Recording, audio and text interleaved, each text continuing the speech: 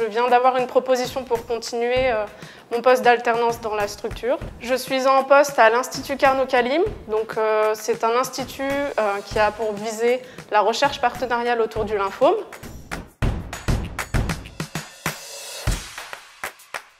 Bah, du coup, j'ai eu la chance de faire partie pendant une courte période de l'association The New Locals. C'est une association qui a pour but de promouvoir le développement durable au sein de, l'UCLI, donc sur les deux campus, le campus Saint-Paul et le campus Carnot. En première année de licence, j'ai eu la chance d'intégrer euh, une autre association qui s'appelle Scientifiques Solidaires. Par la suite, j'ai eu la chance de réaliser un voyage humanitaire dans une réserve, dans la réserve de, de euh, à Madagascar.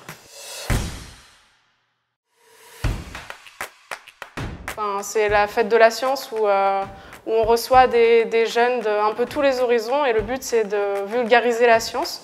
Donc j'ai eu la chance de pouvoir euh, animer de nombreux ateliers euh, durant, durant cette fête. c'est de la bienveillance.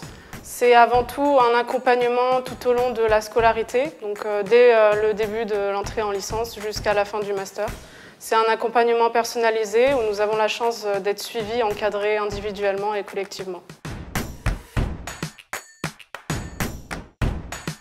Euh, j'aimerais grandement rester en contact avec, euh, avec l'UCLI. Pourquoi? Parce que euh, c'est une école qui m'a apporté beaucoup. J'ai grandi ici. C'est une entrée après le bac.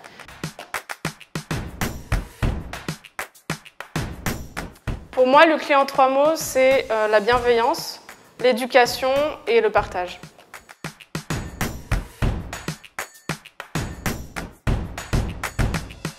C'est humain, c'est un établissement humain où nous pouvons euh, avoir des réponses à nos questions.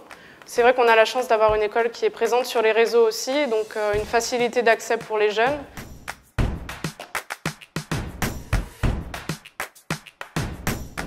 Et je recommande aux étudiants de participer à un maximum d'animations que propose la fac pour avoir une ouverture d'esprit la plus totale.